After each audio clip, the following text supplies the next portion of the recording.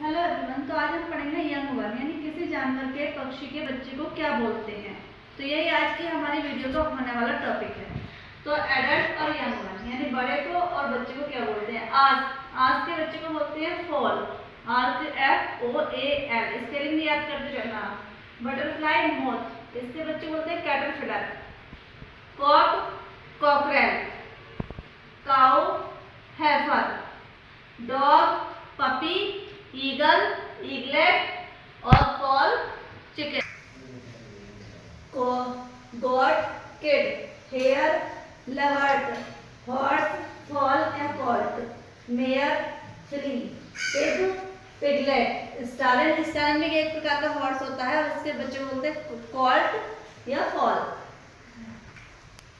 यहाँ पर mare mare का फ्ली यानी मेयर और हॉर्स अगर मेल